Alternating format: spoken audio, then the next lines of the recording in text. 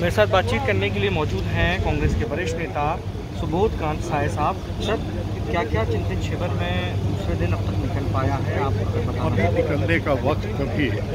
अभी तक तो हर जो छः ग्रुप है, वहाँ चर्चा चल ही रही है। मैं समझता हूँ कि एक सशक्त विचारधारा, सशक्त संगठन और संघर्ष के लिए तत्पर कार्यक्रम ये लेके हम निकलेंगे। ये मैं इतना कर सकता हूँ क्योंकि हर ग्रुप का जो आउटकम है वो तो कल हमको पता किसी प्रस्ताव के बारे में अगर जानकारी देना चाहें जो अंदर चर्चा रही हो जिस पर नहीं सब सारे ग्रुप में बड़ी गंभीरता से विषय की चर्चा हो रही है। युवाओं का जुड़ा हुआ सवाल है। वहाँ पे किसानों का जुड़ा हुआ सवाल है सोशल जस्टिस से जुड़ा हुआ सवाल है।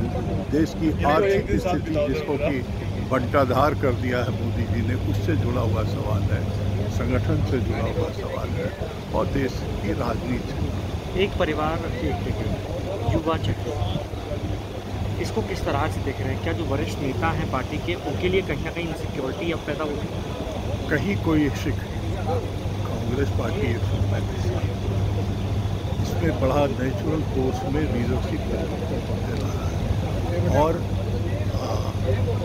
अगर आप देखिए राजीव गांधी के बाद, सोनिया जी ने, सोनिया जी के बाद, राहुल गांधी ने तो बहुत नेचुरल कोर्स में है। कोई ऐसा नहीं है कि इनसिक्योर्ड है।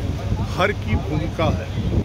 लेकिन फ्रंट लाइन पे कुछ की भूमिका होती है, कुछ लोगों की बैक लाइन पे। होती है हमारे साथ बातचीत करने के लिए मौजूद थे सुबोध खान साहब, मोहम्मद शरफ